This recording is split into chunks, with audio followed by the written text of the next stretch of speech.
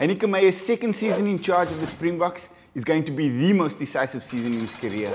I don't think it's going to make or break him. I still think he'll make it to the World Cup in 2015 with the Springboks, irrespective of what happens this year. But he'd certainly feel he has a lot to prove still, and there are certainly questions about his aptitude in this role. He's going to have to build his success without the services of two key players, Andries Bekker and JP Pietersen, as well as without the services of a host of players who are injured at this time. Despite this, he's likely to find little sympathy from the South African rugby fraternity. People don't care about your problems, delivery is what's needed. There are positives. He's in a far better position this year than what he was last, given that his game plan and the players in his squad are pretty settled. He also has the addition of Fourie who will be a massive boost to the Springboks, especially from a tactical kicking perspective, which is so crucial to the Springboks' game plan success.